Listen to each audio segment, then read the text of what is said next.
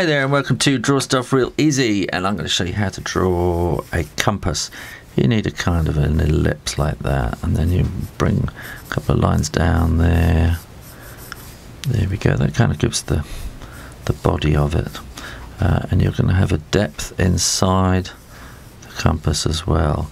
Now, you can have a pin sticking up with um, a little kind of thing that it floats on and let's have the compass pointing that way. Let's have north south east west. Then you can have a bit holding the is that all on there? Bring it down a bit. Um, like there we go. Good. That should do it. Um, I'm going to draw all the way down around here first. All the way around the outside. And then I'm going to draw that's kind of the the glass going like that.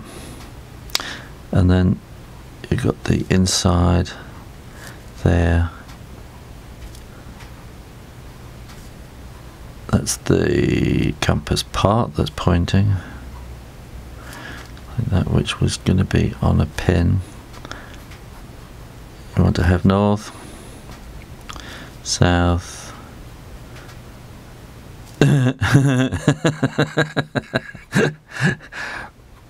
West and East. I was about to do that the wrong way around.